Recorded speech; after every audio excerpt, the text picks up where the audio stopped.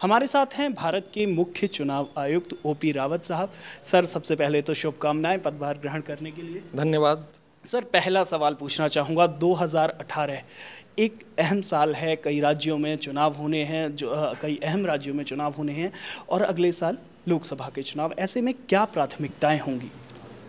मेरी सर्वोच्च प्राथमिकता यही है कि इलेक्शन कमीशन का जो रिच ट्रेडिशन रहा है फ्री फेयर और क्रेडिबल इलेक्शन कराने का उसको मैं आगे बढ़ाऊं कमीशन के सहयोग से ताकि फ्री फेयर इलेक्शंस होते रहें। और दूसरे क्या है 19 में 2019 में पार्लियामेंट के जनरल इलेक्शंस ड्यू हैं तो उसके लिए भी तैयारी एक साल पहले से शुरू होती है तो उन तैयारियों को भी बड़े मजबूती से एफिशिएंट तरीके से पूरा किया जाए। जी।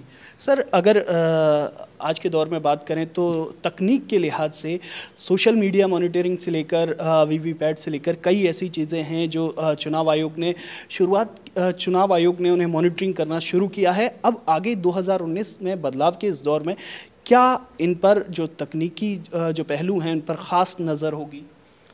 बिल्कुल होगी, क्योंकि जैसे जैसे टेक, टेक्नोलॉजी एवॉल्व हो रही है वैसे वैसे हमें अपना लीगल फ्रेमवर्क हमें अपना इलेक्शन कंडक्शन का फ्रेमवर्क इन सबको रियलाइन करना है और इंश्योर करना है कि हमारे सारे वोटर्स वो वेल इन्फॉर्म्ड हों, उनका जो चुनाव में भागीदारी है, वो पूरी तरह सुनिश्चित हो।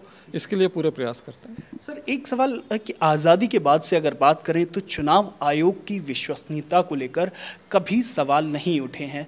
लेकिन बीते दिनों की अगर बात करें तो प्रक्रिया पर कुछ सवाल कुछ दलों ने उठाए। हालाँकि अब कुछ दलों ने ख़ास तौर पर जो चुनाव आयोग पर निशाना साधा है, ऐसे में क्या चुनाव आयोग उनके खिलाफ कोई सख्त रुख रखेगा या फिर किस तरीके से आप अगला कदम उठाएँगे? मैं कुछ दूसरी तरह से बताना चाहूँगा क्योंकि इसमें एक बहुत ही अपने लर्नेड हिस्टोरियन हैं doctor Ramachandra Guha.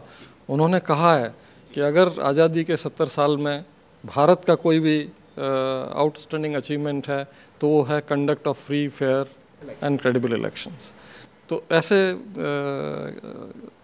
Sort of perception के बाद अगर ये छोटी छोटी बातें जो आती हैं जब भी आप कोई भी इवन मैच अगर हो रहा होता है उसमें रेफरी अगर कोई भी निर्णय दे रहा तो उस पर भी आलोचना होने लगती है।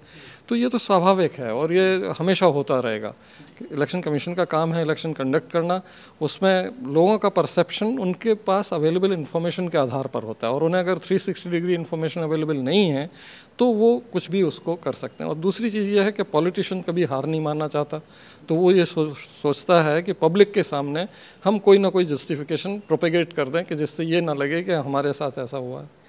जी। सर एक आखिरी सवाल पूछना चाहूँगा क्योंकि बड़े ज़ोर शोर से इलेक्टोरल बॉन्ड और इसके अलावा चुनाव विधानसभा चुनाव और लोकसभा चुनाव एक साथ कराए जाने की बात हुई पार्लियामेंट में भी ये बात चली तो इस पर चुनाव आयोग का क्या रुख है?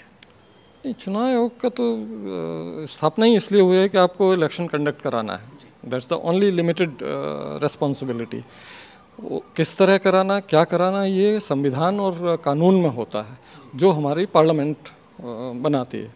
तो जब संविधान और कानून उस तरह का होगा, तब चुनाव आयोग अपना रोल पूरा करेगा। शुक्रिया सर हमसे बात करने के लिए। तो आप देख सकते हैं कि मुख्य चुनाव आयुक्त का साफ़ तौर पर कहना है कि फ्री और फेयर इलेक्शन चुनाव आयोग की प्राथमिकता होगी। कैमरामैन शिव के साथ नव विक्रम सिंह, राज्यसभा टीवी, दिल्ली।